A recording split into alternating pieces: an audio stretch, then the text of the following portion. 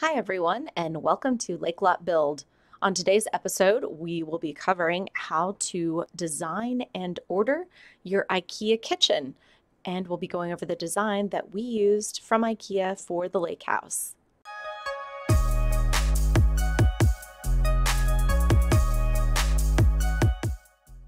Hi everybody, so welcome back to Lake Lot Build. This is Leslie and today I'm just going to walk you through how we designed and built our IKEA kitchen. It's a pretty simple process but I just wanted to show you how we did it uh, on the website and give you some tips and pointers along the way. So the first way to get started is just to go to ikea.com head over to Go Shopping. If you don't have an account with IKEA, definitely go ahead and just sign up for a family account. You do get some discounts and some specials, but really it allows you to save your designs and you're going to want to do that anyway. So just go ahead and make an account.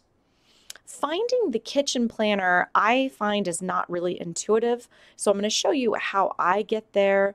I go to rooms once you get to the main page, and I go to kitchen and appliance.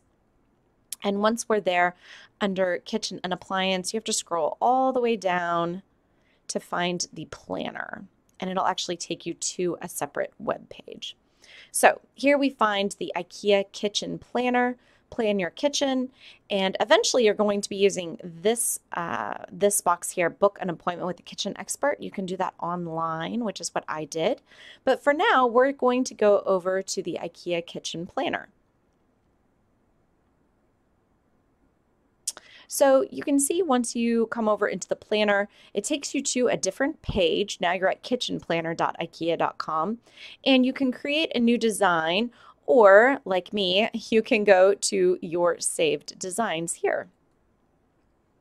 So I had several different designs. This is the design that I actually end up going with, but I had what I called an expensive kitchen design. The type of cabinets that I wanted had integrated handles, so they were a little more expensive.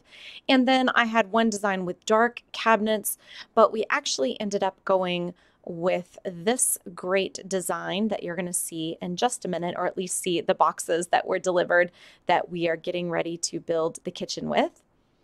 And here is my design. So we used a light birch, I think they call it ash um, for our for our uh, kitchen cabinet color. And those of you who have watched the videos, you know that we kind of have a dark charcoal color floor and white walls. So the IKEA kitchen planner allows you to do all of that to actually select your wall color, your floor color, along with several every other things. So I'll show you that now. So if we were going to create a design like you may be wanting to do, you click on the create a new design. Now it's pretty intuitive, the design portion of this, but there are some interesting things that you can do. It allows you to change the size of the room and also the configuration. So depending on the shape or layout of your actual kitchen room that is the walls in your kitchen you can lay it out in any kind of way that you would like. The open room is nice if you have kind of a open living kitchen dining, it will allow you to do that. You can also change the length of the walls. Now, one thing that is annoying to me is that this is done in inches, so I always have to have my ruler out to try to figure out what is inches to feet, um, but you can do that pretty easily. It also allows you to change the ceiling height. So, like in our kitchen, it's 100 and uh, it's 10 feet tall, and so you can change it to 120 to actually get the ceiling height which allows you from this view to be able to fill those cabinets all the way from the floor to the ceiling. So once you've selected your room shape, you can add doors. If there's um, a door, you know, along um, maybe a side wall over here, maybe um, into a bedroom or a pantry or something like that. You can also add windows and um, several different selections there of different kinds of windows. Maybe I want one over my sink here. You can choose the flooring. So if you're going to have wood floors um, or plank floors or something like that. So if you're going to have wood floors or um, it can you can choose tile. Maybe you have a Saltillo tile or maybe kind of a standard porcelain. You can also select the wall color. So if you're going to have maybe gray walls or light blue something like that. You can change the wall color in the room, the ceiling color. So you get the idea here. It's pretty easy to start designing your room right away. You can also add fixtures if uh, you know you know you've got some plumbing or um, some structures that you're going to have to work around. It will allow you to do that. But here's the fun part. So we get to the kitchen and we want to add kitchen cabinets. So you start with your selection of either base cabinets, 24 inches deep, which is standard counter depth, or base cabinets of 15 inches deep. Now, you might want to do that if you're building an island. You could do 24s on one side and 15s on the other to create a lot of storage. It also has high cabinets. We used the high cabinets that were 90 inches high because we do have that tall ceiling. And there's lots of different selections here, but let's just go ahead and show you some so that you can see what's happening here. These cabinets uh, have doors and also have, um, let me get to a different view here, and also have the interior drawers so you can go along and look and see all the different options there. Now I've gone into a different view as you can see here. This is your 3D line view. Then you have your 3D realistic view. It's easiest to place cabinets from this top down view, in my opinion, especially if you want to place an island. We'll go ahead and place a sink here. Each box is one foot, so it allows you to figure out your uh, space here across from different appliances. So if I know, um, oops, sorry, it will flip and turn on you a little bit. There we go. So if I know I want a three foot walkway, then I can just count one, two, three, and I've got my sink placed there. So it's got the options for drawers or just regular um, shelves. You've got the high cabinets. And basically, you just go through selecting the cabinets that you want and adding them as you go. So you can see here, I've just got a really small setup for us. You can orbit around the room to look in. You can get a little bit closer here, get it adjusted the way that you might like to. But the best feature, or one of the best features that I really like about the IKEA kitchen is that you can change all of your door fronts at once. And this comes in really handy. So I would go ahead and build the cabinets out with whatever, you know, is preloaded. Get the cabinet height, get the dimensions, get everything that you want together. And then go in here and you can start looking at color and looking at the different door fronts and it will change the design for you so that you can look at all of the different options. And You can see it's changed it here for you as well. So if you think, well, yeah, I like that, but I'm not quite sure. Let's see, maybe this is the color I picked, this Askersund. But maybe let's try green. That's kind of hot right now. That seems to be a color that lots of people are gravitating to. Great. And so then I get my green cabinets. So you can see under the kitchen, change all at once. You can change uh, the fronts, the countertops, the legs and toe kicks. IKEA does have countertops and you can select those in several of the different options. Um, but we are going with um, solid surface. So if you did want to look at countertops though, there are lots of options and you can look at those. So let's head on back over to my design here.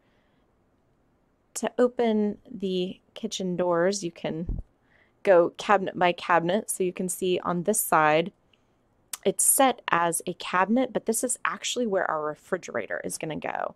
And we purchased an IKEA refrigerator specially designed to fit inside one of their cabinets and that uh, we had to work out with one of their service representatives.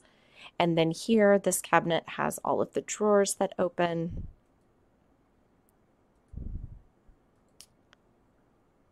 And then we have room for our oven and range here. And then we have a dishwasher that's here on the end of the island. It's going to go right here. And so we had to work with the service representative to talk about panels and how we were going to be able to build that in. So once you have your design and you're happy with your design, you've got your toe kicks added, um, you've thought about some cover panels because there's going to have to be a cover panel here. You don't want to see the edge of the IKEA cabinet. You want it to match the wood or whatever front you've selected. And so they have cover panels that will go here. That starts getting confusing. I don't even like to add the cover panels, even though it will let you do that. It's not great in the floor view or the 3D line view to try to add those panels. It's very difficult.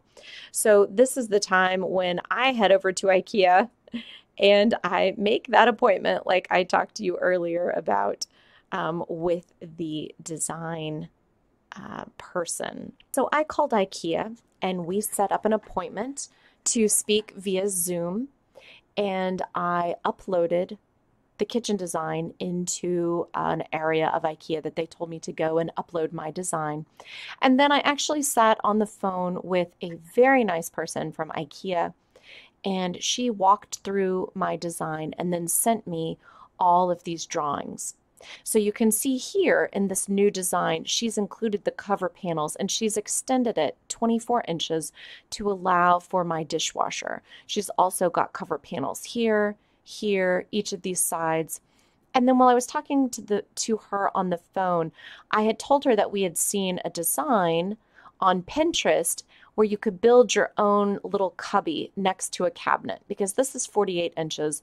This is only 30 inches. So we've got some room here to build a little cubby to place brooms, a mop, you know, maybe some cleaning supplies. And so she added an additional cover panel here so that John could build out this area.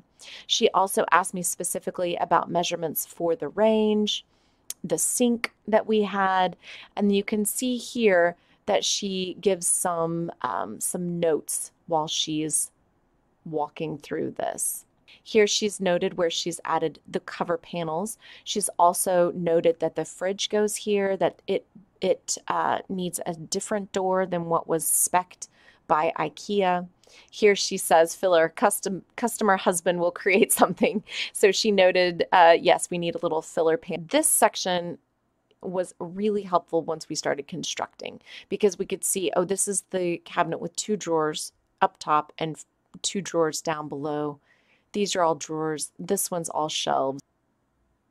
She also sent the shopping list and the shopping list has every item that IKEA is going to pull and ship for this kitchen. Now, you don't really need to know this, but this is really important on their end that she had every single hinge, every single door piece, every bit of trim that she needed for our kitchen. So she's got all the cabinets numbered all of the toe kicks, all of the legs, all of the cover panels. And our end kitchen ended up costing $5,160.99. That includes the custom refrigerator or the integrated refrigerator that was about a $1,000. So we feel like we got a fantastic deal here at IKEA. So these diagrams were really helpful once all of the cabinets were in and we were able to actually start putting things together.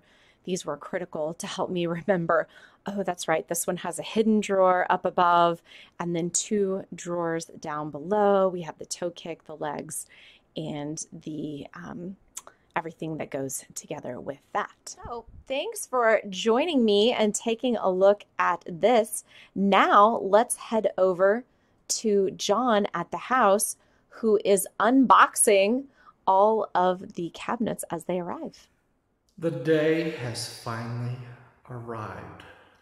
What am I talking about? Kitchen cabinets. And we are finally in a position we can start building cabinets. So, Now you guys want to see what the color is or the type of cabinet that we got. Here we go. That is it. Oh my god, I think the color with the dark floors is just gonna be divine. So like all these boxes, these are drawers, right? So that's a 30 inch drawer and that's a 24 inch drawer. Feet, that is the face of the island that goes like that. So there's two of them, right? And so, um, because the island is going to be that big, these are the sides of the cabinets. So the cabinets will be, I think the interiors are probably white, and then you put these on the edges, and so uh, they'll match the doors. Uh, there's the sink. Um, there's the hangers for the hang the cabinets on the wall. So it's like a big puzzle. So let's go in here and I'll show you what I've started to break down. And uh, this is it. So we have more door faces. The actual cabinets themselves are here. There's a tall cabinet there. The other face uh, on the island is that one down over there. That is a refrigerator. European style. The refrigerator sits in the cabinet. The door front hooks to it. It's got sliders so when it's closed, it looks like a full set of cabinets. You don't know it that it's the refrigerator because right next to it is the pantry. Same kind of door, so it all looks the same. Oh my God, look at that. I'm so excited. So excited.